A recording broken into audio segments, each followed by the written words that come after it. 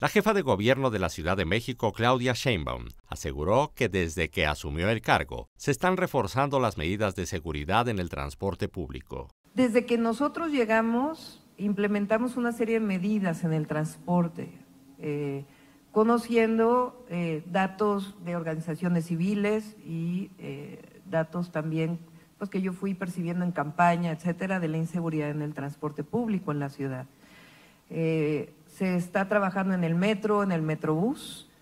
no quiere decir que ya esté resuelto, ni mucho menos, pero estamos reforzando la seguridad, se está trabajando en las cámaras para que pueda, las cámaras estén conectadas a C5, tanto del metro como el metrobús, lo que manifestamos desde el principio en las rutas que vienen del Estado de México a la Ciudad de México.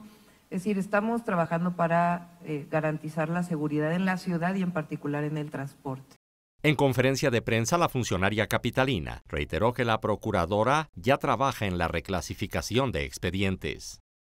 Lo que ha manifestado la procuradora de que había muchas carpetas de investigación que se levantaban como denuncia de hechos,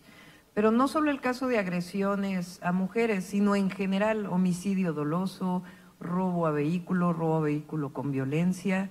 Eh, ya la procuradora tiene un estudio que puede mostrar de esta investigación que han hecho, de revisión nuevamente de las carpetas de investigación, en cuanto, eh, dependiendo del delito, en realidad estaban las cifras de alguna manera maquilladas. En este sentido, la jefa de gobierno fue clara. Esta es una práctica que se usaba antes, inclusive ahora en las mesas con los ministerios públicos, con los policías, la instrucción que estamos dando, el día de hoy tuvimos una reunión con el alcalde de Iztacalco y todos los mandos de la policía y el Ministerio Público es cero simulación. Nosotros queremos saber lo que está ocurriendo en la ciudad y el ciudadano, ciudadana, tiene derecho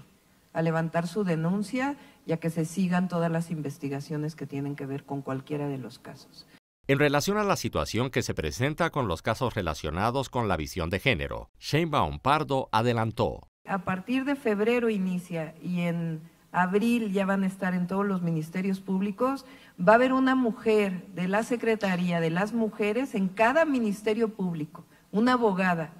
que las mujeres, si no son bien atendidas por el Ministerio Público, puedan llegar ahí o lleguen directo ahí para que ellas, como abogadas, presenten junto con ellas la denuncia ante el Ministerio Público en caso de cualquier agresión que tenga que ver con violencia de género.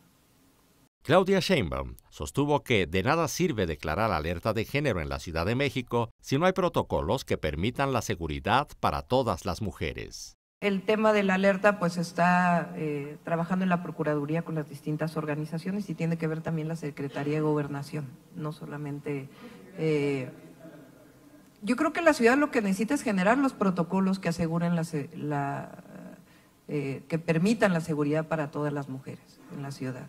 Eso es independiente de si es la alerta de género o no, porque tú puedes, yo lo dije desde campaña, se puede hacer la alerta de género, pero si no están los protocolos de lo que eso significa, pues se vuelve solamente un asunto eh, de comunicación y no un asunto de protección, que finalmente es nuestra obligación. Con información de Araceli Rivera, Notimex.